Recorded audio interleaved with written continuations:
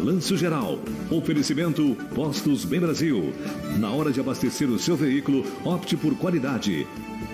E Decorfios Materiais Elétricos. Nome forte em energia.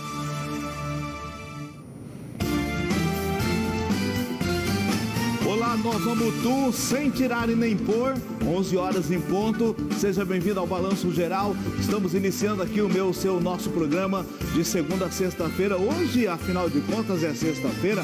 Então, sexta-feira é diferente, né? Sexta-feira é um dia mais alegre, é um dia mais descontraído. A gente é, é, se distrai um pouco mais. Hoje é sexta-feira, vem comigo porque o Balanço Geral está começando. Chega de canseira, nada de preguiça. Ó, sexta-feira chegou, o barulho da pinga caindo no copo. O Lucas gosta de. Ô, Lucas, você toma uma cajibrina de vez em quando, Lucas? Você toma umas cajibrinas de vez em quando? Não? Ah, só faz a cena aí com o copo, né?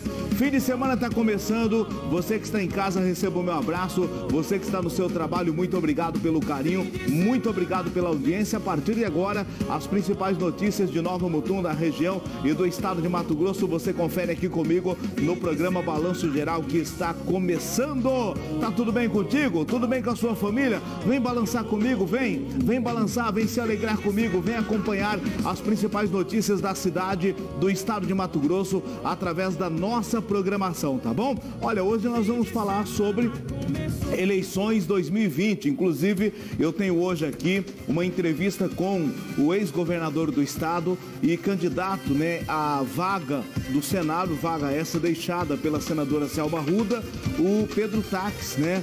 Pedro Tax vai estar falando um pouco sobre sua candidatura, né? É, essa corrida para esta vaga do Senado que foi deixada a partir da cassação da senadora Selma Ruda. E você vai conferir também na edição de hoje.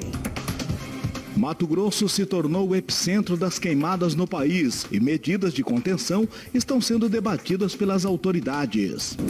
Órgãos de saúde estimulam mulheres a se submeterem às ações de prevenção neste mês de outubro. A Associação de Proteção dos Animais desenvolve importante ação no município de Nova Mutum.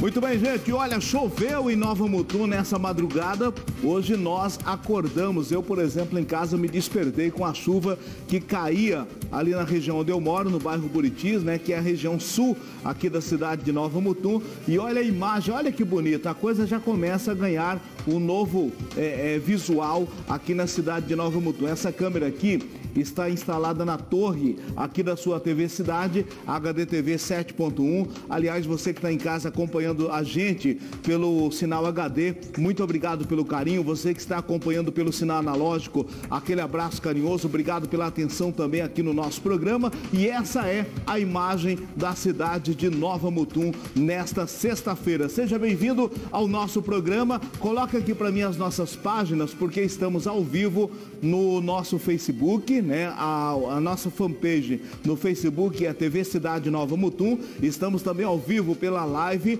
é, do, na, no, no, canal do YouTube, né? Pelo YouTube também. Você que está em casa nos acompanhando pelo YouTube, pelo Facebook, aquele abraço especial. Estamos também é, é, disponibilizando sempre né, a nossa página do Instagram. Você pode curtir a nossa página, nos seguir no Instagram e acompanhar sempre os bastidores aqui, né? As novidades da nossa programação da sua TV Cidade HDTV 7.1. Se quiser me seguir também no meu Instagram pessoal, é arroba Chico Telo. Vai ser um prazer ter você lá também. Aliás, ontem